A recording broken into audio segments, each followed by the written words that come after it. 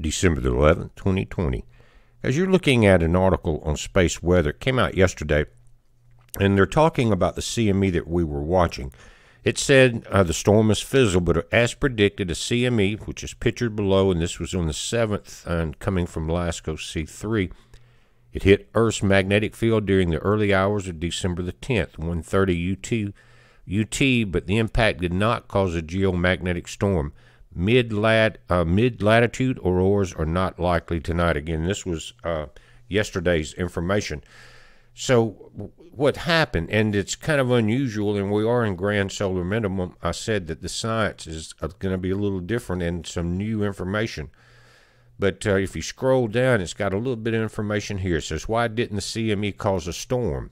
Every CME brings with it some magnetic field from the sun. It's a lot of magnetics on the sun, and we're dealing with a switch in polarity of the solar flares because now we're in solar cycle 25, and that's how they know. Unusual that it, the way it did this, but it says if the magnetic field points south, it opens cracks in the Earth's magnetic field allowing solar wind to flow inside and fuel the auroras and the other things, tectonic pressure, everything else.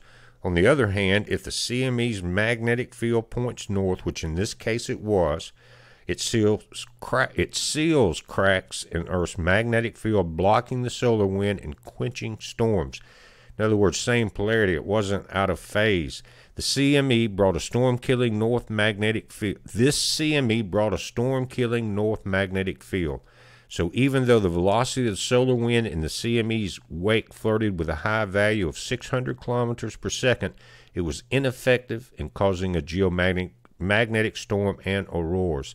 Says maybe next time solar activity is picking up with the onset of new solar cycle 25. This is just the first of many CMEs likely to head our way in months ahead. And there's some new information also coming out. Check this out.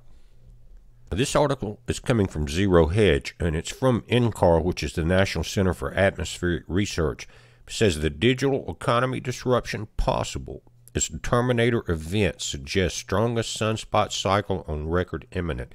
This Terminator event they're discovering in its new science here too is that even though you have 11.8 year solar cycles, they can overlap at certain times. And when they do, you have this. It says researchers at the National Center for Atmospheric Research, or NCAR, were forecasting the sun is about to wake up, expected to hurl pulses of energy into space. Earth's implications could be dire as stormy space weather could be disastrous for the digital economy. So you got to tie in the other effects too.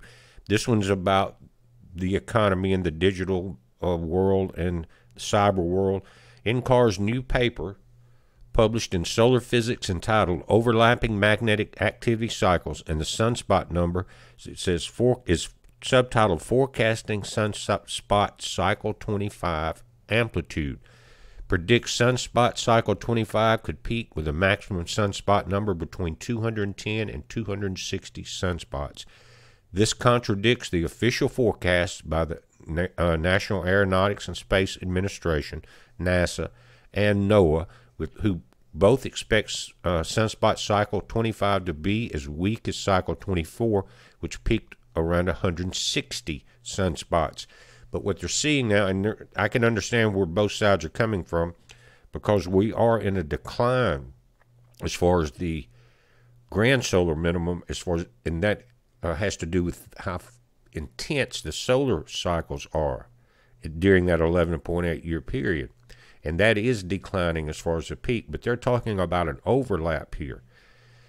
It says uh, if the NCAR forecast is correct, it will support the researchers' team theory that the sun has overlapping 22 year magnetic cycles that interact to produce the well known approximately 11 year sunspot cycle as a byproduct. It's 11.8 years 22 year cycles repeat like clockwork and could be a key to finally making accurate predictions of the timing and nature of sunspot cycles, as well as many of the effects they produce. It says uh, using 140 years of solar observations, researchers were able to identify terminator events that signal the end of a sunspot cycle. They believe sunspot cycle 24 ended in the first half of 2020 with sunspot cycle uh, 25 beginning uh, beginning imminently, and I think it has. McIntosh believes the bright points, and this is dealing with the magnetic field that's in the northern hemisphere of the sun and the magnetic field that's in the southern hemisphere. When the sunspots change, they know the magnetic field of the sun, which changes with the sun uh, solar cycle 11.8 years, unlike the Earth's, which could take millions of years. Either anyway, when they uh, change, the magnetic field of the sunspot changes, and that's what has happened, and that's what uh, kind of absorbs some of that blow from the uh, CME that we're watching.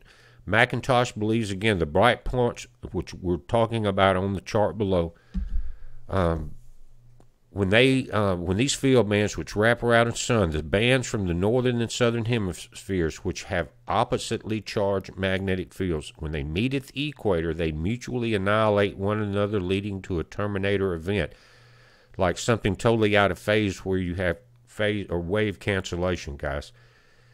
It says these terminators are crucial markers on the sun's 22 year clock. McIntosh says because they flag the end of a magnetic cycle along with its corresponding sunspot cycle and act as a trigger for the following magnetic cycle to begin. And that's what we've seen. We've been talking about that. It goes on to say that NCAR's Deputy Director Scott McIntosh, a solar physicist who led the study, said evidence for terminators have been hidden in the observational record for more than a century, but until now we didn't know what we were looking for. By combining such a wide variety of observations over so many years, we were able to piece together these events and provide an entirely new look at how the sun's interior drives into solar into the solar cycle. Exactly what we got you guys and I have been talking about for the last couple of years new things will be discovered, new science, new technology that we have now to look back and observe these things and correlate it. Uh, but anyway, this goes back from 70, 60 to the current cycle. Now, it doesn't include the uptick that we're going through now into 25 right here at the end of the chart. But they're showing these peaks and they're showing some overlap. And during that overlap period is when you're going to have the Terminator events, as they are calling them. But I wanted to update it, guys, because as I said while we were watching the live video, we don't know what will happen. It is a new science, and our shields are very weak. And to me, it was a blessing that the magnetic field pointing north in the CME matched the Earth's magnetic field at that time and absorbed the blow. Our Father knows what He's doing.